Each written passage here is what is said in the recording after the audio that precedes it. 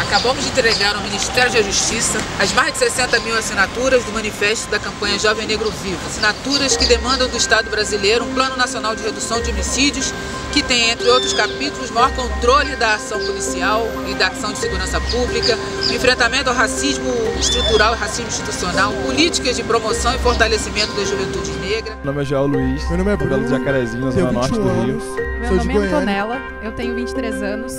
Meu nome é Blenda, eu tenho 23 Meu nome é anos. Salvador. Eu sou de Capão da Canoa, uma cidade Eu litorânea moro em do Rio Grande Ananindeua, do no Sul. Pará. A cada 100 pessoas assassinadas no Brasil, 71 são negras. Eu quero que a segurança pública no Brasil seja integrada e respeite os direitos humanos. E nós Queremos que a segurança pública do Brasil respeite os direitos humanos.